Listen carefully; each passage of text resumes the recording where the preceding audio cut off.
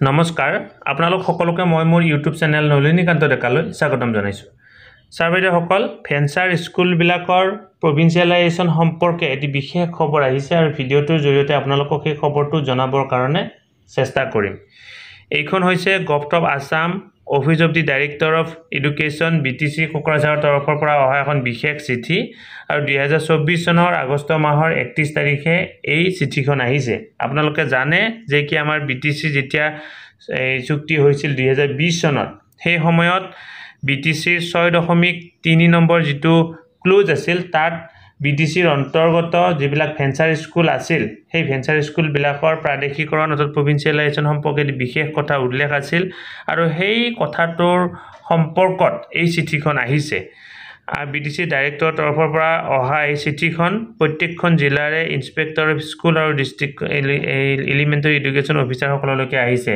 অৰ্থাৎ B T চিৰ অন্তৰ্গত যি পাঁচখন জিলা আছে এই পাঁচখন জিলালৈকে এই চিঠিখন আহিছে। ইয়াত তামোলপুৰৰ কথা এক্সট্ৰাকৈ উল্লেখ কৰা হোৱা নাই। প্ৰধানকৈ চাৰিখন জিলাৰ ইনস্পেক্টৰ অফ স্কুল আৰু ডিষ্ট্ৰিক্ট এলিমেণ্টেৰী এডুকেশ্যন অফিচাৰসকললৈকে চিঠিখন আহিছে। এই ছাবজেক্টটো হৈছে regarding submission of report for verification in respect of the proposal for provincialisation of venture school in B T R under clause six point three of Bodo accord two thousand twenty two ইতিমধ্যে কথাটো ক'লোঁ যে কি দুহেজাৰ বিছ চনত যি বড়ো চুক্তি স্বাক্ষৰিত হৈছিল তাৰ ছয় দশমিক তিনি নম্বৰ ক্লজত উল্লেখ থকা অনুসৰি যি বিদ্যালয় প্ৰাদেশিকৰণৰ কথা উল্লেখ আছিল তাৰ লগত সংগতি ৰাখি এটি ৰিপৰ্ট ছাবমিশ্যনৰ কাৰণে বিদ্যালয় প্ৰাদেশিকৰণৰ লগত সংগতি ৰাখি ৰিপৰ্ট ছাবমিশ্যনৰ কাৰণে এই চিঠিখন আহিছে। এতিয়া ইয়াৰ ৰেফাৰেঞ্চ হিচাপে দুহেজাৰ চৌব্বিছ চনৰ বিছ আঠ এই দুহেজাৰ চৌব্বিছ চনৰ ইমানো নম্বৰৰ এই চিঠিখনৰ কথা কোৱা হৈছে। ইয়াতে চাওক যে কি দুহেজাৰ তেইছ চনৰ এই চনত বিদ্যালয়সমূহৰ প্ৰভিঞ্চিয়েলাইজেশ্যনৰ কাৰণে এটি বিশেষ ৰিপৰ্ট কি কৰা হৈছিল ছাবমিট কৰা হৈছিল। আৰু সেই ছাবমিট কৰা ৰিপৰ্টটোৰ আলাম হিচাপে লৈ এটা কথা উল্লেখ কৰা হৈছে যে কি তেতিয়া যিটো ভেৰিফিকেশ্যন কৰা হৈছিলে তাত সকলোবিলাক বিদ্যালয়ৰ যিটো ষ্টেটাছ সেই ষ্টেটাছটো কি বুলি দিয়া হৈছিলে ইয়াতে চাওক গুড গুড বুলি দিয়া হৈছিলে। এই কথাটো ইয়াতে উল্লেখ কৰি দিয়া হৈছে। ৰাজ্য চৰকাৰৰ পৰা এই কথাটো বি টি চি ডাইৰেক্টৰক কোৱা হৈছে যে কি সেই সময়ত সেই তথ্যবিলাকত মানে ষ্টেটাছটো কি বুলি দিয়া হৈছিল? প্ৰত্যেকখন বিদ্যালয়ে ষ্টেটাছটো গুড গুড বুলি দিয়া হৈছিল। সেই সময়ত বিদ্যালয়বিলাক ভেৰিফাই কৰা হৈছিল।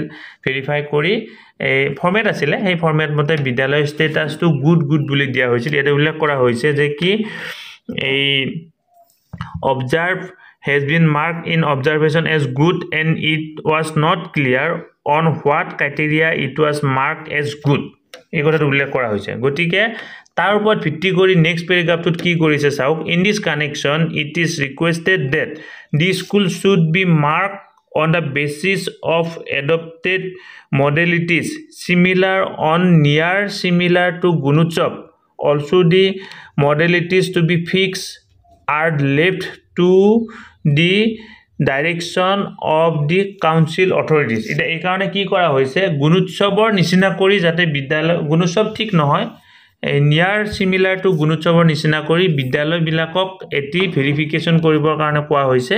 আৰু তাৰ ওপৰত ভিত্তি কৰি এটি ৰিপৰ্ট ছাবমিট কৰিবৰ কাৰণে দিয়া হৈছে। ভেৰিফিকেশ্যন ৰিপৰ্ট যে কি বিদ্যালয়খনৰ ষ্টেটাছটো বৰ্তমান কেনেকুৱা ধৰণৰ হয়। যিবিলাক ভেঞ্চাৰ স্কুল আছে বা যিবিলাক বিদ্যালয়ৰ অলৰেডি ৰিপৰ্ট আগতে ছাবমিট কৰা গৈছিল সেই ৰিপৰ্ট স্কুলবিলাকৰ ৰিপৰ্টটো মানে ষ্টেটাছটো কেনেকুৱা ধৰণৰ হয় সেইটো ছাবমিট কৰিবৰ কাৰণে দিয়া হৈছে। আৰু তাৰ কাৰণে কি কৰিবৰ কাৰণে দিয়া হৈছে বিদ্যালয়বিলাকৰ ভাগ কৰি দিয়া হৈছে। আৰু সেই ভাগ কৰা তথ্য মতে ভালেকেইখনো ফৰ্মেট ডেভেলপ কৰা হৈছে। সেই ফৰ্মেটত কি কৰিব লাগিব এই বি ডি চিৰ তৰফৰ পৰা ষ্টেট গভৰ্ণমেণ্টৰ গভৰ্ণমেণ্টক কি কৰিব লাগিব?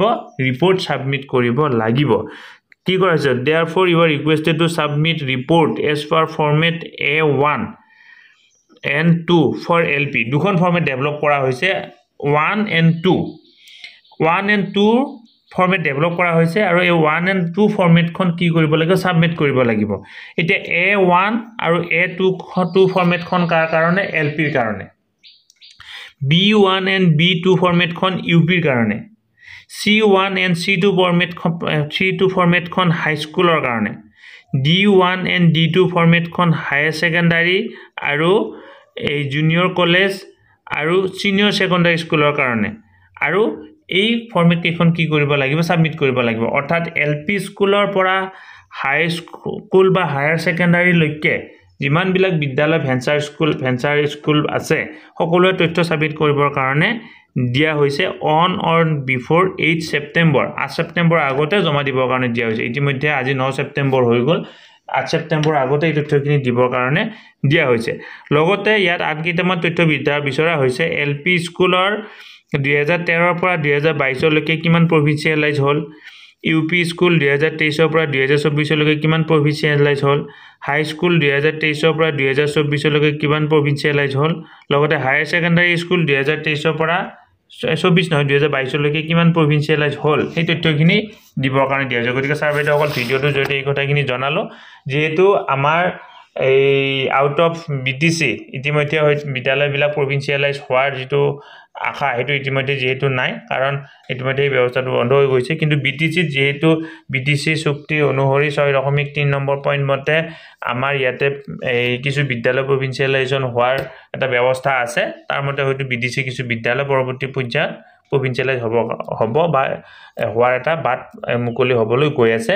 এই চিঠিখনে সেই কথাটোৱে বুজা বুজায়। গতিকে ভিডিঅ'টো যদি এইখিনি কথা জনালোঁ আপোনালোকে ভিডিঅ'টো আগলৈকে ফৰৱাৰ্ড কৰিব বুলি আশা কৰিলোঁ।